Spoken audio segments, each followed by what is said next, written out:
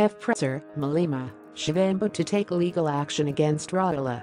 EFF leader Julius Malema and his deputy Floyd Shivambu are taking legal action against the party's former MP Thembinkosi Rawula for posting allegations that the two were using party coffers to fund their lifestyles.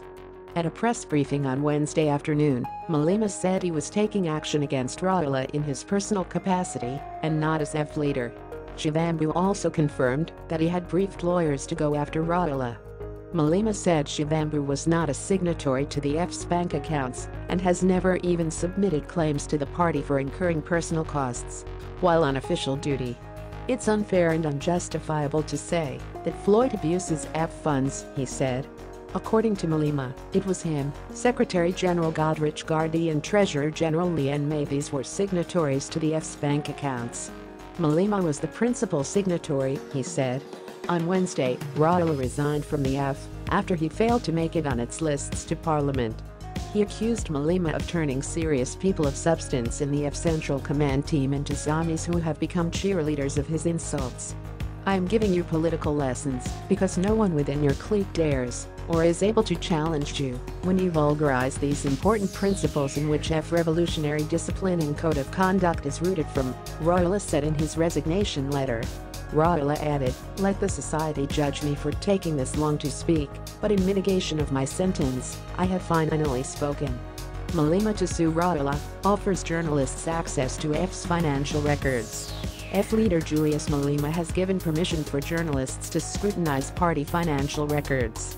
This offer comes after former senior member Thembinkosi Rawula accused him, and EFF Deputy President Floyd Shivambu of financial mismanagement and accepting a donation from VBS Mutual Bank. We can give you access to look at them.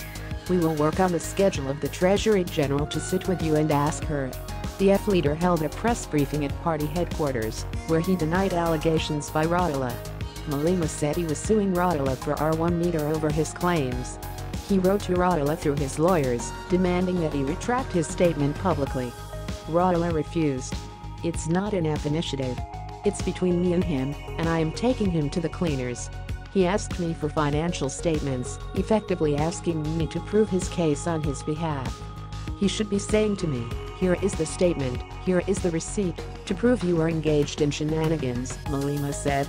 Rawula, who was the head of the party's disciplinary commission until recently, claims Malema admitted during a Central Command team meeting that the party had accepted a donation from VBS Bank. Malema has denied this, saying he only made a political overview, stating that VBS was supposed to be the end of EFF in the way it was designed. I'm taking him to the cleaners.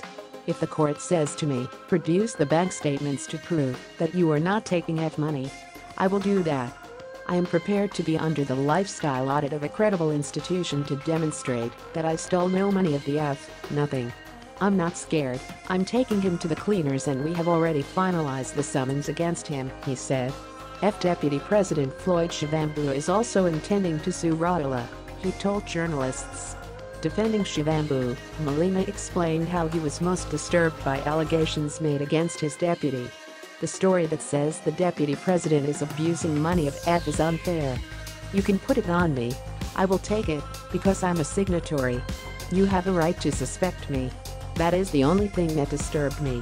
There is an effort to destroy this guy with lies and all types. If you want finances of the EFF, come to me. I will take full responsibility because I am signatory.